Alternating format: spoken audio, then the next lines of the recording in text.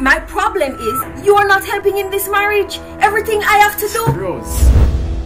I don't see the ring on his finger. And ring or not, it's going to be mine. Shut up your mouth! I said to shut up your mouth. What do you mean? Please don't kill me. I don't want bed. Wonder what we're gonna at the party tonight. Certainly not Jesus. Stacy, you and this Jesus thing. We're going to One kill brother for one dumpling. There's a lot of benefits that should be coming with this package. So I'm just hoping that you're open.